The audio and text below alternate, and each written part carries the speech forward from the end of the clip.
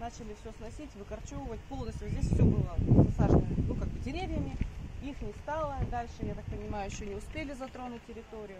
Но А, только вчера нам пришло письмо э, в ящиках, мы обнаружили, а, от администрации города, управление архитектуры и градостроительства, что здесь э, планируется возведение гаражей, соответственно, заезд будет, а, как поняли, со стороны Гагарина, но опять-таки здесь жилой комплекс, а, и так э, очень Детский сад.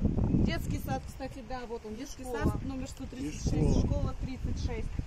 И нам вот, честно говоря, категорически здесь не хватает кислорода. Вот представьте, тут и так пыльно-грязно, еще собираются какие-то гаражи возводить. Что тут будет мойка, тяжелая техника, неизвестно, непонятно, но явно не для людей.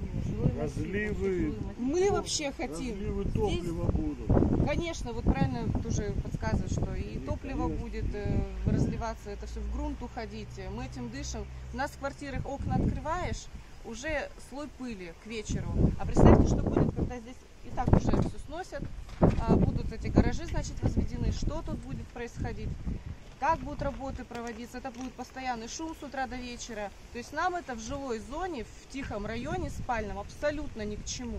То есть, и, во-первых, и во-вторых, на каком основании вообще начались уже работы, а, без согласования, вот публичное слушание назначено, все указано, 14 июля 2022 года, 14 июля, то есть через месяц, сегодня 15 июня у нас, То 22 есть через года. месяц, скорее всего, здесь уже стоял бы комплекс. Конечно. А здесь уже дней 5, как ведутся работы. Ну, если на то пошло, если из двух зол выбирать, да, то мы, конечно, ну, пускай это будет... Если это необходимо, действительно, городу необходима дорога, хорошо, ну, пускай это будет дорога.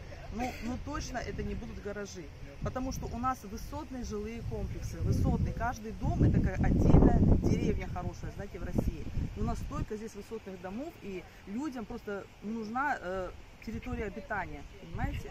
Нам, ну, если нужно проехать, хорошо, но не какой-то частный, а одного человека, там, двух человек гараж э, с автомойкой, там, с маслами, с запахом.